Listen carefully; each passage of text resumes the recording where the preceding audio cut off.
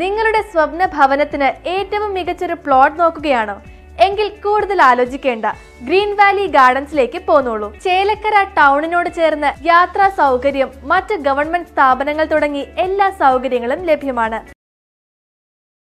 Chirankara centre ഇനി പ്രഭാമയം. High mast ലൈറ്റിന്റെ ഉദ്ഘാടനം നിർവഹിച്ച് M P Ramya Haridas.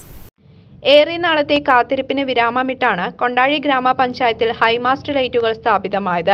Parliament അംഗം രമ്യ ഹരിദാസിന്റെ രണ്ടായിരത്തി പത്തൊമ്പത് ഇരുപത് വർഷത്തെ പ്രാദേശിക വികസന ഫണ്ട് ഉപയോഗിച്ചാണ് ചിറങ്കരയിലും പാറമേൽപ്പടിയിലുമായി ഹൈമാസ്റ്റ് ലൈറ്റുകൾ സ്ഥാപിതമായത്.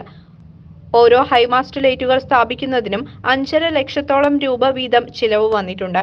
കൊണ്ടാഴി ചിറങ്കര സെന്ററിൽ സ്ഥാപിച്ച ഹൈമാസ്റ്റ് ലൈറ്റിന്റെ ഉദ്ഘാടനം പാർലമെന്റ് അംഗം രമ്യ ഹരിദാസ് നിർവഹിച്ചു.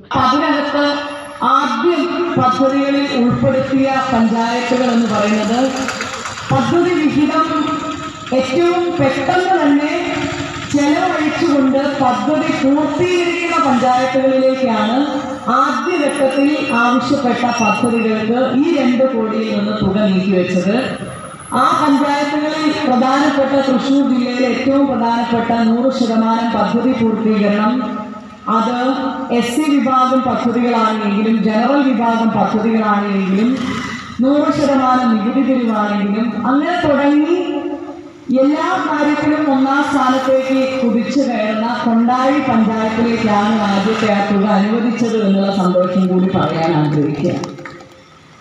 അതേപോലെ തന്നെ ഒരു എം പിക്ക് ഒരു വർഷം ഒരു പഞ്ചായത്തിനെ സൻസദ് ഗ്രാമ യോജന സാഗി പഞ്ചായത്താക്കിയിട്ട് ദത്തെടുക്കാൻ പറ്റും ഐ ചേട്ടാ എന്ത് പഞ്ചായത്തായിട്ട് പറ്റും Sagi.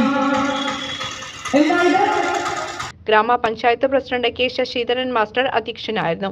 Vice president Latha Narayanankutty block panchayat അംഗം പി എം മനീഷ് ഗ്രാമപഞ്ചായത്ത് standing committee chairperson V Nishamol ആസൂത്രണ സമിതി ഉപാധ്യക്ഷൻ അഡ്വക്കേറ്റ് രമേശ് പൂങ്കാവനം മറ്റ് ഗ്രാമപഞ്ചായത്ത് അംഗങ്ങളായ E K Manoj K Sudhevan O Premalatha P Rajesh എന്നിവർ സംസാരിച്ചു. C C Vinos Kondazhi.